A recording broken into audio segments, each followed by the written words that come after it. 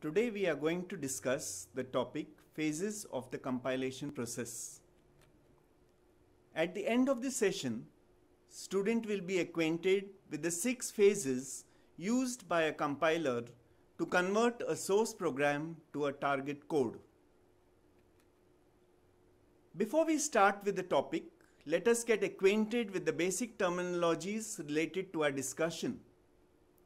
The first terminology is system software. These are softwares made for a system to give the desired results as expected by a user. They cannot be modified by a user because they have certain specifications that the system can understand.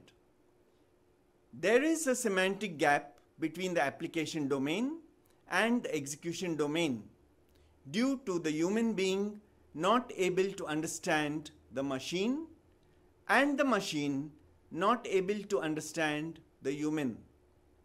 The human speaks and understands in a natural language and the machine only understands the language of zeros and ones, yes and no, true and false. Programming languages introduced by software engineering deals with the specification in the application domain and converts them into a source program which is very close to English called a higher level language. A compiler converts this source program to a machine code which can be further converted to a language understood by the machine. The third term we have to consider is the phases. There are a number of complicated tasks to be performed and converted which is required the source code to the machine code. Therefore, we divide the task into simpler steps that are manageable and have a defined input and output. These steps are termed as phases.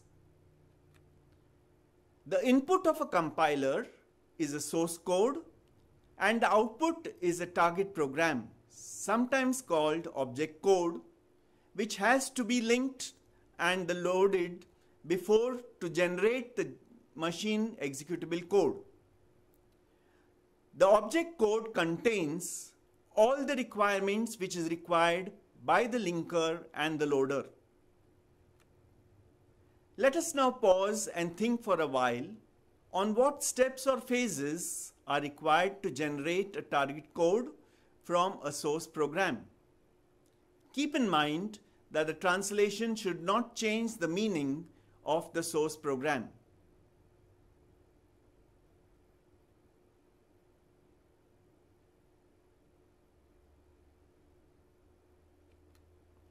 The six phases of compilation are lexical analysis, syntax analysis, semantic analysis, generation of intermediate code, code optimization, and target code generation.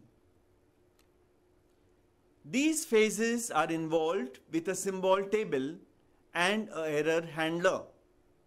The symbol table records all the identifiers used in a source program. It has information about them like storage allocation, type, and the scope and where in the program they are valid. In procedure name information about number and types of its arguments, method of passing and type returned. The error handler detects errors at every phase to reduce the errors in subsequent phases. The lexical analyzer reads the program characters of the source and groups them into a stream of tokens that are logically connected. The character sequence forming a token is finally called a lexeme for the token. Lexemes may sometimes have values attached to them. Syntax analysis checks the token rules against the rules for syntax of the programming language, grammar, it reveals syntax ambiguities. A properly designed grammar is used for translation of source program into correct object code and there is detection of errors. Semantic analysis that follows syntax analysis assigns meaning to the code syntax. It is an extension to syntax analysis. It develops a hierarchical structure on the token stream input from the lexical analysis and is represented in a proper format called as a syntax tree. The internal node is a record with a field for an operator and the two fields containing pointers to the field from left to right children. A leaf is a record with two or more fields, one to record a token and other to give the information. It uses parsing techniques. It prepares for the type or error checking involving lexical errors, syntax errors, and logical errors. And intermediate code is finally generated for an abstract machine. Intermediate code generation is the phase that follows syntax and semantic analysis. Intermediate code should be easy to produce and easy to translate into the target program. It may be in the form of a three address code consisting of a sequence of instructions, each for which has at the most three operands. Other forms containing quadruples are also possible. Code optimization refers to the improvement of this intermediate code which is created. And in the previous phases, an orientation is given that this intermediate code may be optimized by certain methods which are called as optimization techniques.